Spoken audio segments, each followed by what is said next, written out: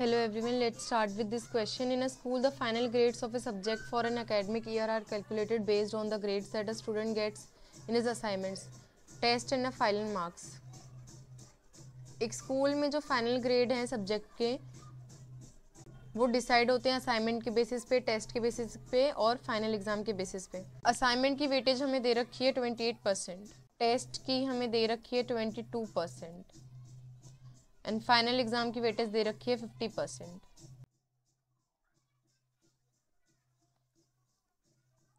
if a student has an assignment grade of eighty एक student के कितने grade आए हैं असाइनमेंट में एट्टी तो एट्टी का कितना लेना है? ट्वेंटी एट परसेंट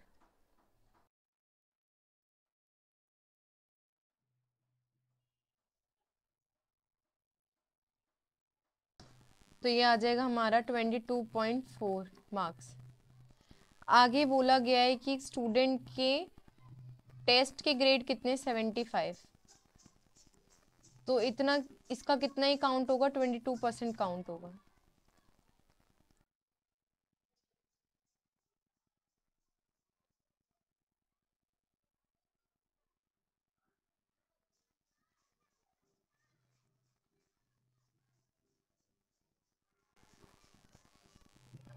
ये कितना आ जाएगा? सिक्सटीन पॉइंट फाइव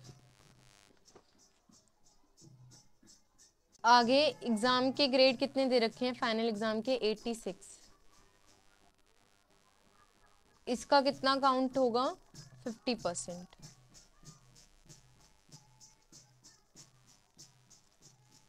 ये कितना आ जाएगा? Forty three